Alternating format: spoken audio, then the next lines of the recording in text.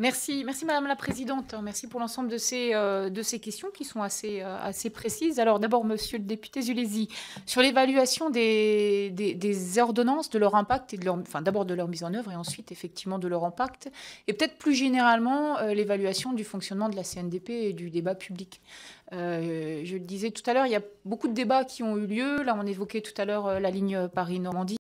On pourrait évoquer les débats sur Notre-Dame-des-Landes ou d'autres débats. Il serait intéressant sur des débats qui ont pu être compliqués ou les nanotechnologies, effectivement, qu'on avait dû euh, interrompre, d'avoir un retour d'expérience un peu plus systématique déjà pour en tirer les enseignements, voir ce qui a fonctionné, ce qui n'a pas fonctionné et réutiliser euh, ces, enseignements pour d'autres euh, débats. C'est fait, mais c'est bien de le systématiser et, de l'organiser. Deuxième élément sur les évaluations des, des, ordonnances, de toute façon, il faudra faire l'évaluation dans les deux ans au plus tard, dans la mesure où, euh, ces ordonnances vont avoir un impact assez important sur le fonctionnement de la CNDP, que ce soit en termes de, moyens, de procédures. J'évoquais le cas de la conciliation qui reste quand même à construire et, pour lequel euh, il sera intéressant de faire une évaluation qui soit une évaluation avec euh, les porteurs de projets, avec les élus, parce que c'est pas normal non plus qu'on entende parfois, mais ça sera quoi la CNDP C'est pas normal non plus qu'on entende parfois dans la population, mais c'est quoi la CNDP tout simplement? Euh, Donc il est important que cette évaluation, on la fasse de manière pluripartite.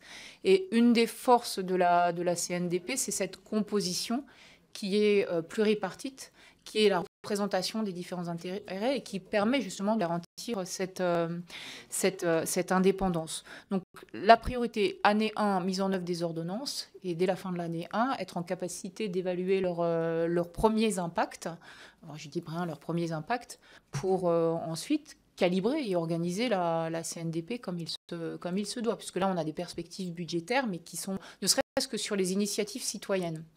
Il y a quand même pas mal de dispositifs qui ont été euh, ouverts dans le cadre des initiatives euh, citoyennes, y compris d'ailleurs sur euh, le débat public national. Le CESE avait déjà cette, disposition. Il n'a été saisi que trois fois mais on ne sait absolument pas dire demain ce qu'il en sera concrètement. on ne sait absolument pas dire si la CNDP va être considérée par certains comme une instance de recours, ce qui est entre guillemets un, risque, hein, euh, ou euh, si euh, au contraire, effectivement, ça va participer d'une démocratie beaucoup plus, beaucoup plus apaisée.